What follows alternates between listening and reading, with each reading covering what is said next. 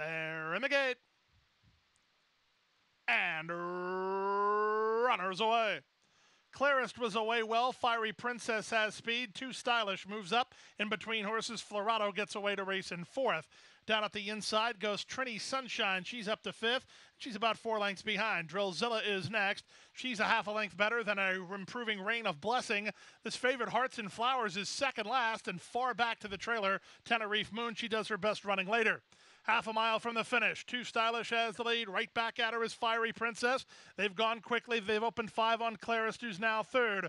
Florado was fourth. Trini Sunshine is fifth. It's a gap of two and a half to dropping back Drillzilla. Hearts and Flowers is underway, but she's better than double digits behind. Tenerife Moon's on her back as these two try to get to the leaders. If the leaders remain too stylish, and on the outside, Fiery Princess. Top of the lane, too stylish turns first. Fiery Princess back at her. Down the center, Florado is coming on. Trini Sunshine is next. Somebody's coming up the rail. That's a run from Clarist. And here's Hearts and Flowers. She's exploded between runners. Hearts and Flowers from way back is on to the front. Here's Hearts and Flowers. On the far outside, Tenerife Moon is on late. Hearts and Flowers and Tenerife Moon. Hearts and Flowers appeared to hang on. Tenerife Moon rolling a ton down the stand side. She was up second, I think. It's close for third. Florado.